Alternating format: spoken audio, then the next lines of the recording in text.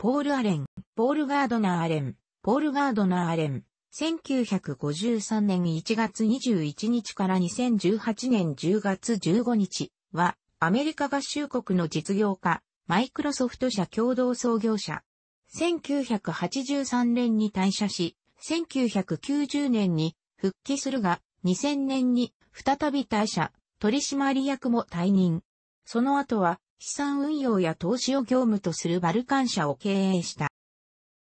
マイクロソフト社をビル・ゲイツと共に創業し、大資産家として知られており、2017年時点の資産205億ドル、2兆に500億円、6つの財団を参加に率いるポール・ジー・アレン財団を運営している。また、アレン脳科学研究所や音楽史美術館など様々な事業に出資や寄付をしている。SF ファンとしても知られ、資材を投じて SF 博物館を設立したほか、石器協会にも多額の寄付を行っており、アレンの名を冠した電波望遠鏡、アレンテレスコープアレイの建造も進められている。アメリカのアメリカンフットボールプロリーグ、NFL のシアトルシーホークス、プロバスケットボールリーグ、NBA のポートランドトレイルブレイザーズ、プロサッカーリーグ、MLS のシアトルサウンダーズ FC のオーナーとしても知られる。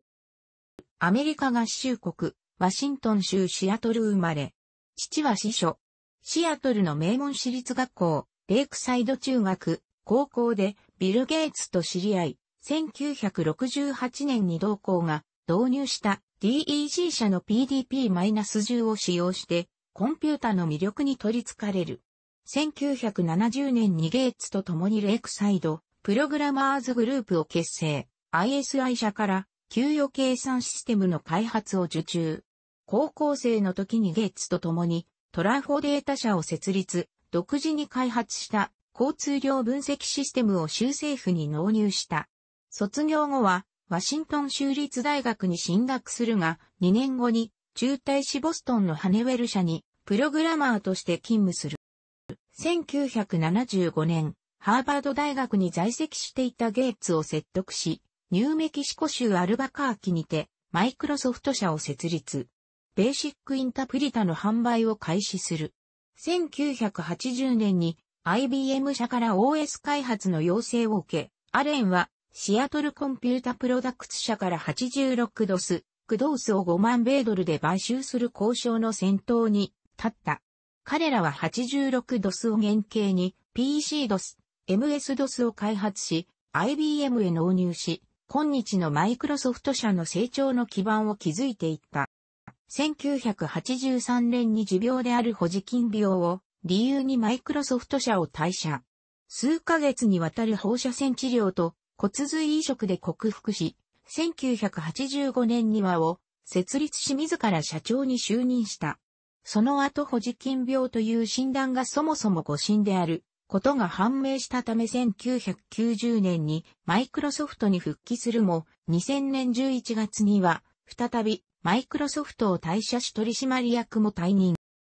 1998年には米国の大手 CATV 会社であるチャーターコミュニケーションズの株式を買収して筆頭株主となり、自らも同社の会長に就任したが同社はその後経営不振に陥り、2009年2月に連邦倒産法第11章の適用を受けた。同社は速やかに経営再建を果たしてナスダックへの再上場を果たしたが、ポール・アレンは株式を徐々に手放し、2013年3月、ジョン・マローンの率いるリバティメディアが大株主となった。また2008年1月に行われた、米国の 700MHz 帯の競売にも、バルカンスペクトラムとして参加し、シアトルなど2カ所の免許を得ている。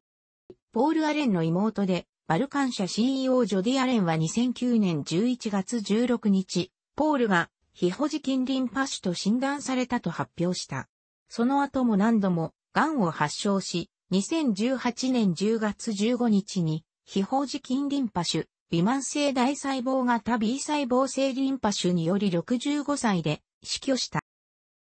マイクロソフト退社後は、事前事業に参入し、1986年に、事前団体のポール・ジーアレン一族財団を創設した。以来毎年3、0米ドルを太平洋岸北西地域の民間非営利組織に分配している。2003年9月には、資材1億米ドルを投じて、アレン脳科学研究所を設立し、マウス脳遺伝子発現マップ作成プロジェクト、アレンブレインアトラスを開始した。2004年にアンサリ X プライズを受賞した有人宇宙船スプスシポンにも出資した。ハナーブの一種であるポール・アレン・ハナーブは、創始目学に対する貢献から彼に、懸命されたものである。アレンは、第二次世界大戦時の兵器にも造形が深く、中でも、戦闘機を中心とする世界の軍用機を個人的に多数所有しており、その施設航空機博物館として、ワシントン州、スノホミッシュ郡ペーンイールド空港にて、フライングヘリテージコレクションを運営している。収蔵機は数多く P-51 マスタングや BF109 などの米独英日その使用機を網羅し、かつレストアやリビルドを経て飛行可能状態ないし、それに準ずる状態にある高品質の機体で揃えている特徴があり、定期的に飛行パフォーマンスを同館で行っている。中でも、旧日本陸軍航空部隊の一式戦闘機は、世界で唯一、機体、エンジンともにほぼオリジナルかつ飛行可能な状態に相当する貴重なものである。対戦艦、対戦中の軍用機に限らず、ミーグ -29 ファルクラム M4 シャーマン中戦車、8.8センチメートルフラッグ37、さらには、有人小型宇宙船のスペースシップ1ホワイトナイトもコレクションしているなど、実質ポールが収集したコレクションを展示する場である。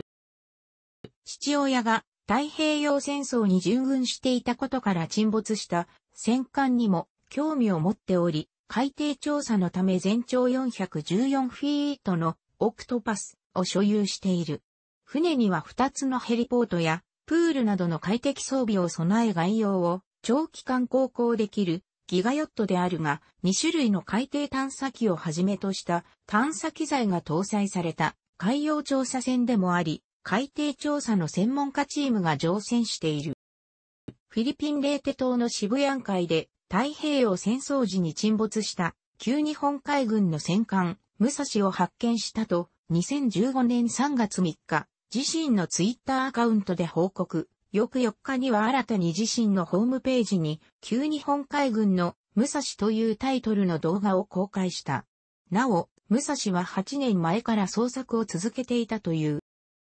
ポールは1941年にデンマーク海峡海戦で沈没したイギリスの巡洋戦艦フットにも関心を持ち、イギリス当局の許可を得て2012年に最初の海底調査を行う。その際、フットの生存者が回収を望んでいたフットの号章を回収しようとしたが、気象条件などにより、あと一歩のところで失敗に終わった。2015年、ポールは再度調査を行い、8月7日についに、豪章の回収に成功した。豪章は1年かけて修復される予定である。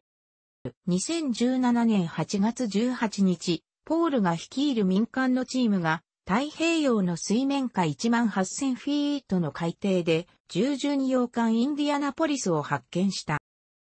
2018年3月5日、オーストラリア東岸から約 800km、深さ約3200メートルの海底で、レキシントンの残骸を発見した。